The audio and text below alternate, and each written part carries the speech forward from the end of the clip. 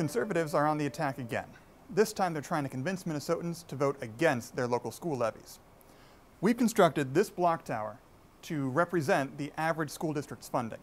Conservatives would have you believe that this is sturdy, bolstered by a $488 windfall per pupil from the latest legislative session. Look closely from the school's perspective at all the funding gaps. In many schools, teachers, administrators, and support staff are getting creative, working harder than ever to maintain quality in a time of shrinking state funding.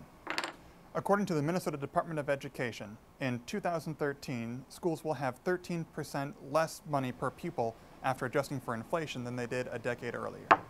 Let's get back to conservatives' $488 per pupil increase that they say is coming to you. About 135 of those dollars are in pre-existing local levies, the same ones that they're asking you to vote down right now. That's not new money from the state. That's coming from your community. Now, 260 of those $488 are automatic increases from the feds in the state meant to cover special education and other areas. They're not new money, they're not from the most recent legislative session, and though they're meant to cover cost of living increases, they aren't even enough to do that. In actuality, the legislature only approved $50 per student per year in new payments, which conservatives count as $100. However, superintendents tell us that's only going to go to cover the borrowing costs of delayed state payments. Doesn't seem like that much of a windfall to me.